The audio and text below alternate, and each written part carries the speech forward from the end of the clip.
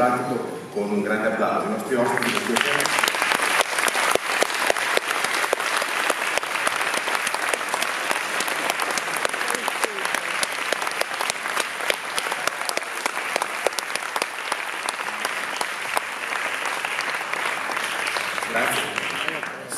presenteranno da soli tra poco, però abbiamo avuto pochissimo tempo per dialogare con voi e quindi eh, approfittiamo di questa sessione per eh, capovolgere l'ordine degli eventi, cioè incominciamo con i vostri commenti e le vostre domande su questa materia. Chi è che ci sarà col microfono?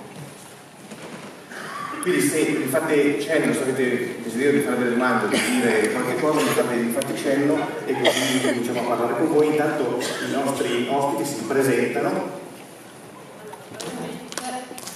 Perché abbiamo poco tempo, io mi chiamo Beatrice Montino e divulgo forte.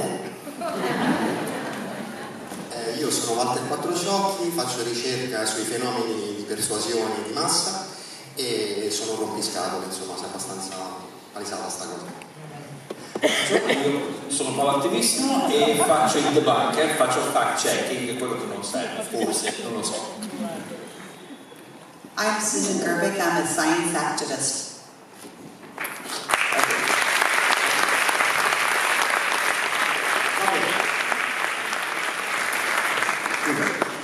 Eh, puoi dire anche a noi che sappiamo poco del tuo lavoro, oltre il tuo parere, che cosa fai in particolare, nel, qual è la commissione, che cosa, qual è il tuo progetto?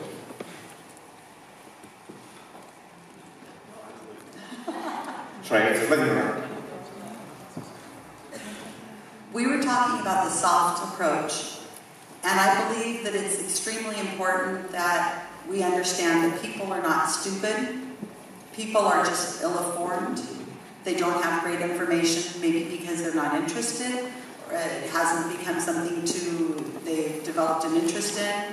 But we need to make sure that when they are looking for information, that they can find it written unacademically in a way that they can understand it, written in the language that they want to read it in. Because people are questioning, as you said in the cafeteria, somebody comes in and they talk to you about something when they go home and they want to do research on that topic, they're going to Google it. And where's the first place they're going to find? Wikipedia. You're supposed to say Wikipedia. Um, and they, they need to be able to get great information. So the soft approach is to allow people to save face, to be able to go and do their own research and find out the information, and then come back to the cafeteria the next day and say, I thought about it. I did some research. And I don't think I wanted to use homeopathy or acupuncture or, or whatever it is. So my project, our project, is the Guerrilla Skepticism on Wikipedia project.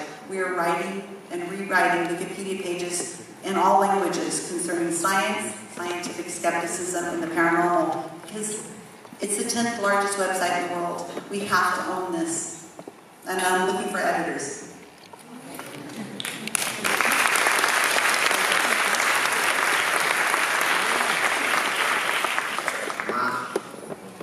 nel migliorare le pagine, le pagine di Wikipedia cercare di renderle più veritiere, qual è il processo che utilizzate? Come fate a sapere che quello che scrivete voi è giusto e vero? We have to use the consensus of science. Uh, the rules of Wikipedia are skeptic rules. regardless of if the editors on Wikipedia are skeptics, they mostly are because that's the rules.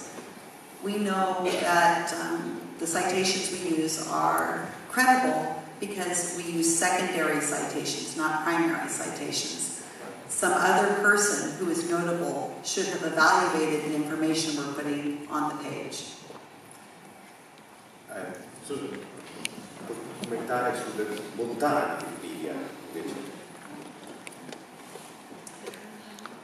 Wikipedia may be something that the scientific community possibly may find difficult because it's not as easily controlled academically as maybe some scientists have hoped.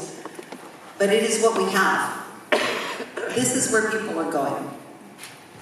It is the 10th most viewed Wikipedia, I mean, 10th most viewed website in the world. It is where people are getting their content, regardless on if you want it to be the place they're getting content. It doesn't matter. This is where people are going. So we need to own it. We need to make sure it is right. And just finding a page once in a while when somebody dies and there's incorrect information does not mean that the majority of Wikipedia is incorrect. For the most part, it is in good shape. We are trying our best. And I ask, like the person who asked the question saying that you find incorrect information, I suggest join us. We will teach you how to fix that.